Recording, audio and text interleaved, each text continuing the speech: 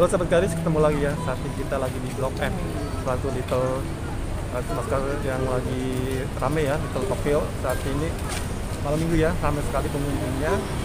Seperti kalian lihat sendiri, kita akan explore seperti, seperti apa sih Blok M di malam minggu ini ya. Kami terus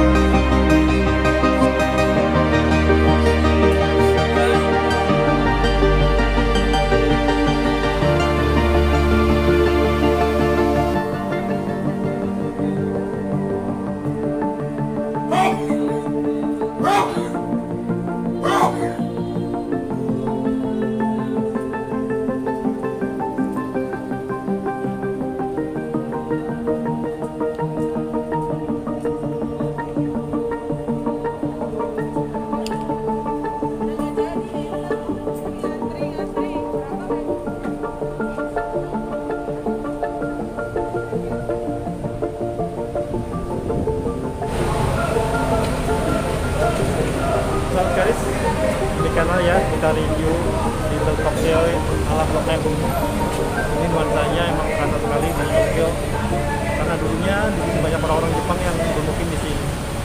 Oke, guys, tetap dukung channel ini ya, jangan lupa subscribe dan komennya agar kita bisa mengekspos hal-hal baru yang ada di sekitar kita. Oke, sahabat terima kasih dukungannya. Tetap semangat hidup, tetap bagus, tetap